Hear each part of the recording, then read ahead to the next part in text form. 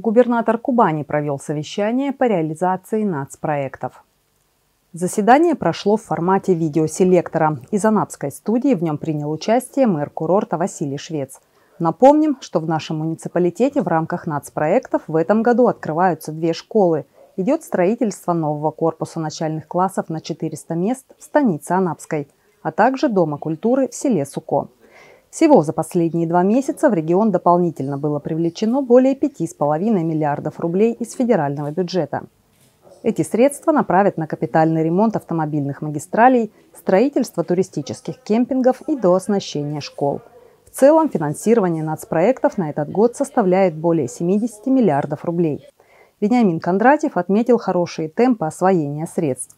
Наибольшую динамику показывают программы образования, международная кооперация и экспорт, а также культура.